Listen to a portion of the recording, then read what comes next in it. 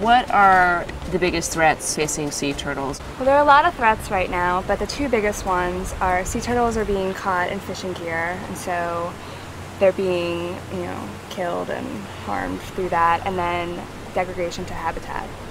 Building, dredging of sand, you're losing. And garbage too, right? I mean, one plastic bottle or a piece of plastic, piece if, of plastic. if it's ingested. All it takes is one piece of plastic can kill a sea turtle. Yeah.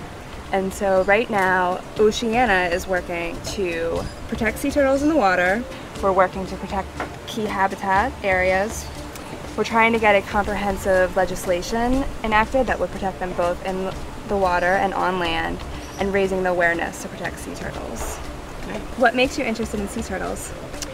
Um, I mean, if you've ever um, swam with them or gone snorkeling, they're the most, you know, amazing, kind of majestic creatures. And it's it's kind of crazy to me to think that they're endangered. I'm hoping to raise awareness uh, because I think most people think about going to the beach and they just go for a swim and that's it, but they don't know what's really happening. And that I think if more people know, they can actually take action to prevent it. Why did you decide to partner with Oceana?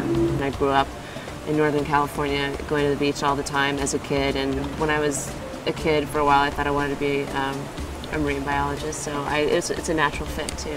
What was your first impression when you saw sea turtles in the wild?